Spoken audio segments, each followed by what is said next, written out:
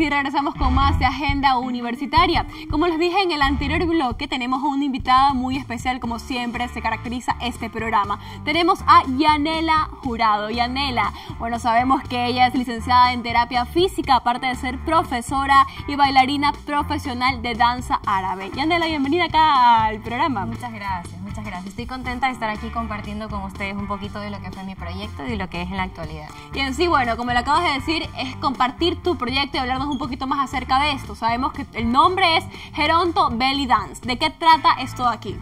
Bueno, Geronto Belly Dance eh, nace de un proyecto de titulación de, para graduarme como licenciada en terapia física.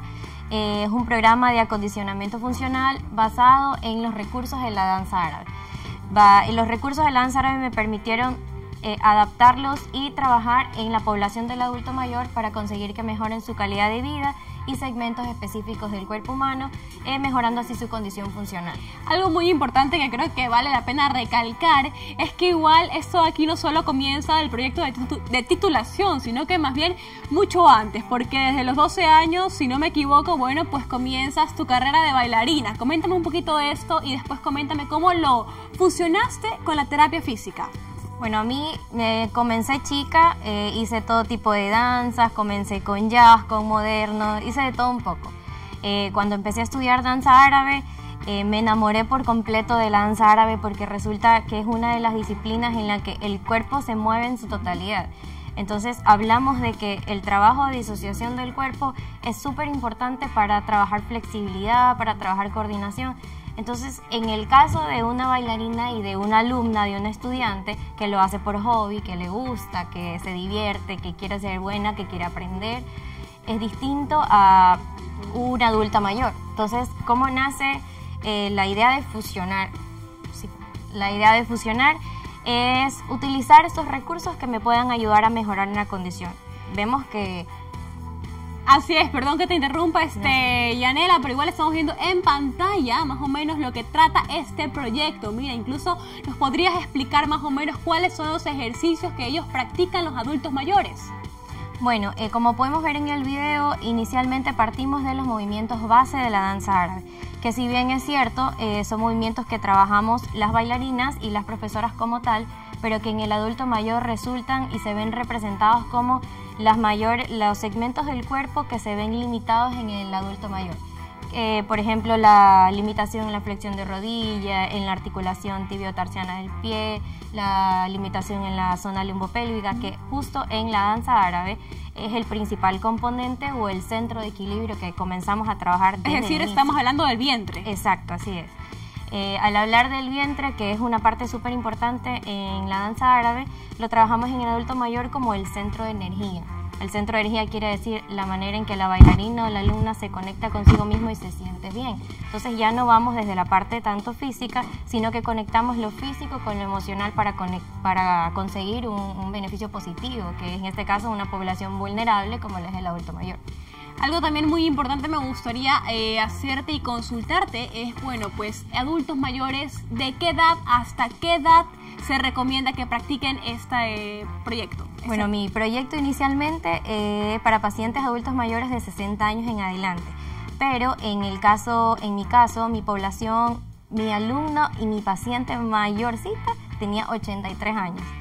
O sea, la única, el único impedimento era no tener algún soporte técnico como es una silla de ruedas o alguna fractura reciente. Desde ese caso y a partir de la evaluación eh, pude darme cuenta en qué condiciones estaba la población, en qué condiciones se encuentra, con qué limitaciones, para así establecer un programa, como vemos en el video, trabajando en la escalera de coordinación, pero haciendo un movimiento básico en danza árabe que se llama egipcio con desplazamiento. Entonces es propio, propios, movimientos propios adaptados a la necesidad de la población se consigue un, un beneficio súper importante. Algo también este, que nos llama la atención en este video es que eh, la verdad todas aquellas mujeres que estamos viendo se ven felices, se ven disfrutando de todo lo que ellas realizan en este momento. Y que como tú lo dijiste anteriormente, en sí todo entra desde el vientre, ¿no? Desde la zona, ¿me repites exactamente el, nombre? El centro de energía. El centro de energía, exacto. Pero igual, ¿algún otro beneficio que les ocasiona a estas personas? Bueno, los principales beneficios es la coordinación, el menor riesgo de caídas. Trabajamos mucho en la flexibilidad de la rodilla, flexibilidad en miembro inferior, flexibilidad en miembro superior, fuerza, trabajo propioceptivo. Entonces, solamente con trabajos de desplazamiento, descargas de peso que son propios de la danza árabe, conseguimos trabajar la propiocepción y la conexión un poco femenina de, de, esta población, que vemos que una adulta mayor con el pasar de los años se siente como opacada, como solita, como tal vez no, no tan conectada consigo mismo. Pero la danza árabe es una danza tan femenina que comienza como un reto para esta población, pero termina encantando porque es una danza de conexión. Ellas necesitan estar felices para poder pues eh, realizarla y, les ayuda. Y es que en sí esta danza, como tú lo dijiste, es femenina o también se puede, bueno, pues pueden inscribirse personas, quizás hombres, en este proyecto o, no. Desde luego, sí. Bueno, eh, cabe recalcar que en la danza árabe, en distintos estilos que estamos manejando en la actualidad, manejamos movimientos particulares, parecidos, muy parecidos a los de una mujer, los puede realizar un hombre. Pero en el caso del adulto mayor lo podemos ver como desde punto el trabajo propioceptivo y movimientos folclóricos, de repente lo podemos conectar de esa manera porque si bien es cierto como que uno va y le dice al, al abuelito venga vamos a bailar danza árabe entonces ellos como que al inicio es como no quieren. Pero podría ser una bonita iniciativa pues incluir ciertos movimientos de danza árabe como son folclóricos para trabajar propiocepción en el adulto mayor que son las descargas de peso y los saltos. Listo, y ahora sí, para poder ir concluyendo la entrevista un poco más, este, bueno, me gustaría saber cuáles son tus planes a futuro. Bueno, en la actualidad, eh, Geronto Belly Dance eh, forma parte de mi estudio de danza árabe y fisioterapia. Trabajo en danza, prevención y salud. Y pues estamos realizando Geronto Belly Dance los días jueves de 5 a 6 y media. Perfecto, y ahora sí, quizás tus redes sociales para que te puedan encontrar. Bueno, en Facebook me encuentro como arroba yanela.belidance o Yanela Jurado Estudio y en Instagram arroba yanela.belidance para que puedan seguir los videos, puedan observar a mis alumnas y ver un poquito en lo que nos enfocamos en el estudio. Perfecto, ahora sí me informan por acá que vamos a ir a ver este, en estos momentos. Bueno, ahí estamos, ahí perfecto. Estamos eh, viendo algunas claquetas. Yanela, déjame comentarte que en esta oportunidad tenemos la producción y dirección de artes audiovisuales. Admisiones abiertas 2017, ya lo saben, el taller de inducción 19 y 20 de septiembre y el examen el 26 del mismo mes. Así que para todos aquellos que quieren ser productores audiovisuales, ahí están más o menos los que se pueden enfocar, que es la fotografía, la camarografía, la edición, la iluminación, entre otros. Y también, como siempre, les tenemos más información aquí en Agenda Universitaria. Inscríbete ya en la carrera de música. El lugar es el edificio principal de la UCSG en el tercer piso, hora 13 horas 30. Ahí están los contactos, los teléfonos. Y bueno, pues muchísimas gracias a la Facultad de Artes y Humanidades, como siempre, brindándonos lo mejor en información. La charla informativa está, la charla informativa el 25, así que no se lo pueden perder. Ahí incluso están los teléfonos para que ustedes se mantengan conectados con nosotros. 25 de septiembre. Concursos de reconocimiento a la investigación científica, galardones nacionales 2017.